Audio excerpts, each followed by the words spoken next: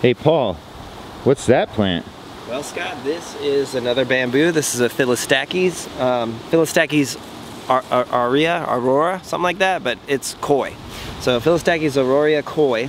Um, what makes it special is uh, there's lots of Phyllostachys, it's a runner, uh, but what makes this really special is one, you can see just the yellow and green stripes, it's really beautiful.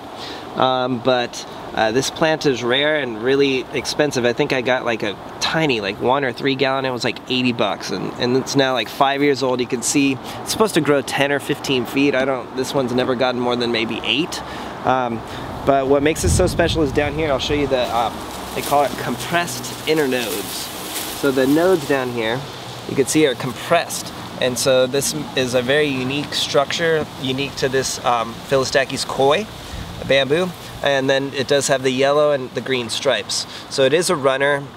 Um, it is hardy, I think, to three degrees, so temperature is not really an issue, but I noticed that um, when I first planted it, it almost died because it was in a really sunny spot. So as you can see, I moved it to this partial sun environment and it's been really happy.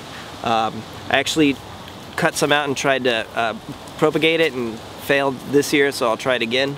Um, but this Phyllostachys is great. It's expensive, hard to find, but you can see just, again, the beauty is really this um, compressed or swollen internodes. Um, and it, that's really unique to this plant. Kind of like one we've done, Buddha's Belly kind of has some unique node structure as well um, if you starve it of water. So running bamboo, as long as you're not afraid of a runner, this is a great one. Um, so give us a like, subscribe, we'll keep them coming. Bam! Boo, koi bamboo. Uh.